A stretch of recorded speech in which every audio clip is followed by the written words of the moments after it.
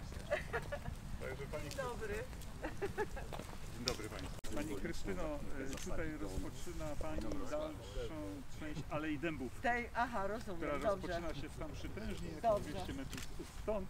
dobrze. Taki duży ten dom, ale ładny, taki prosty. Dobrze, ja kopię. Dobra, Pani Krystyna właśnie symbolicznie zasadza dom na Wrocławiu. dobrze.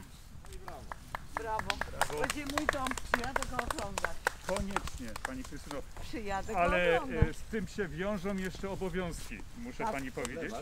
Nie tylko oglądania, ale również podlewania.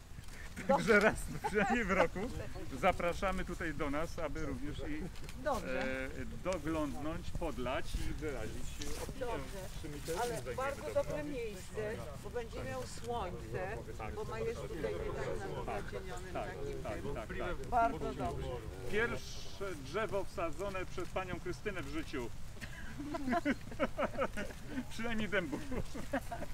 A wszystko co pierwsze to się pamięta również. Pani Krystyno, bardzo dziękujemy. Ja dziękuję. Ja dziękuję za to zaproszenie.